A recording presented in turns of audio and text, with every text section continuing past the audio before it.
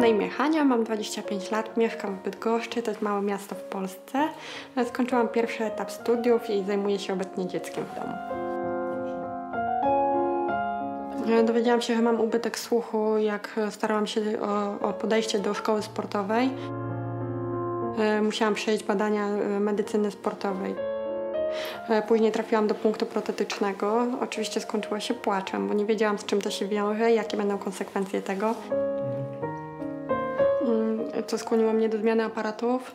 Uwielbiam aparaty słuchowe Viron, ponieważ są bardzo małe, bardzo estetyczne, mają piękny kolor obudowy. Znajomi nie zauważają aparatów słuchowych. Zdarzyła mi się sytuacja, kiedy ktoś, kto nie wiedział, przechodziliśmy obok basenu, no wyrzucił mnie do wody, bo po prostu nie wiedział, że nasze aparaty słuchowe.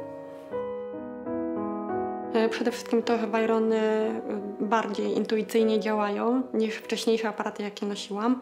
Tak, czyli czy zmieniam otoczenie na hałas, czyli to zrozumienie mowy cały czas pozostaje takie same, niezależnie od tego, czy ja przełączam programy. Najbardziej Wajrony pomagają mi obecnie przy opiece nad dzieckiem, z tego względu, że ja mogę gotować w kuchni, dziecko leży u siebie w pokoju, słyszę nawet najmniejszy dźwięk, co się dzieje w pokoju.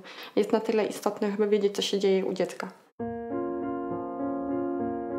Mam na myśli, że mogę podłączyć sobie aparaty słuchowe z telewizorem lub telefonem bez żadnych kabli. Słyszę dźwięki bardzo wyraźnie.